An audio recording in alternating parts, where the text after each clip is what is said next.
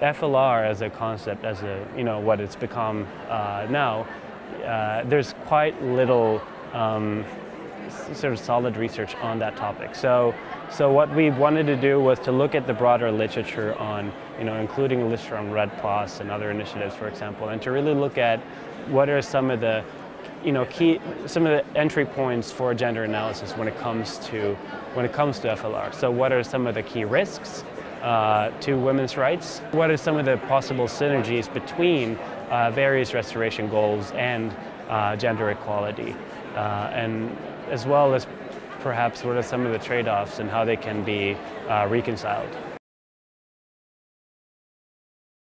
A big issue is is around land tenure. Uh, so on, on, you know, on what land uh, is restoration taking place? In areas where women don't have land titles, they're not necessarily included as stakeholders in the FLR process at all.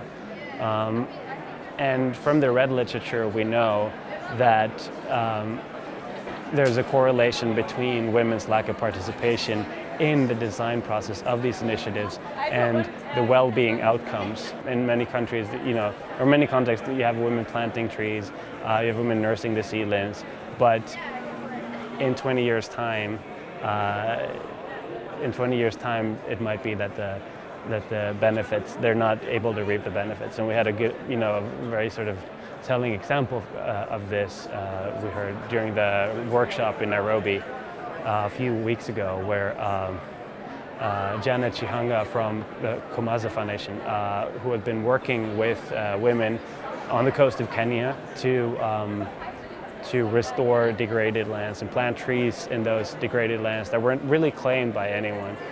Um, and uh, some eight, eight years later, when it wasn't even time for, uh, for harvesting, but just thinning, the men who showed no interest in the land, uh, which the women have been working on for all this time, and now they show up and claim the land uh, because you have the trees there.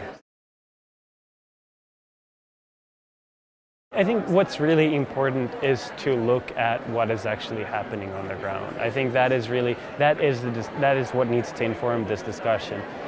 So it is a long process, and it'll require you know everything from from uh, policy to addressing issues uh, that have to do with uh, implementation of those policies uh, to changing and transforming norms on the ground and you know so that'll that'll of course require the collaboration of a lot of different uh, partners and and it, it's nothing that will happen necessarily overnight but I think in the short term with restoration uh, initiatives some of the really critical things uh, are of course to implement to ensure that there are you know that principle of uh, FPIC or free prior informed consent uh, are upheld uh, and and implement it in a gender responsive way. When we look at FLR and gender, because there are so many different stakeholders involved, because there are so many different approaches, uh, it's very difficult to sort of make a broad statement about what needs to be done. But I think one of the reasons for me personally why I am engaged in this or want to be engaged in this is, is because this is really an opportunity to, to bring these up uh, to the forefront of these discussions. You know, now there is a lot of focus, there's a lot of political uh, sort of emphasis on these areas, on these, you know, these lands, these areas that have been, you know, not necessarily the priority of a lot of policymakers for a long time. Now all of a sudden, you know, there's more and more emphasis on these areas. And so bring in the issue of rights, bring in the issues of gender equality uh, into that discussion is really critical and it's a good opportunity to to do that now.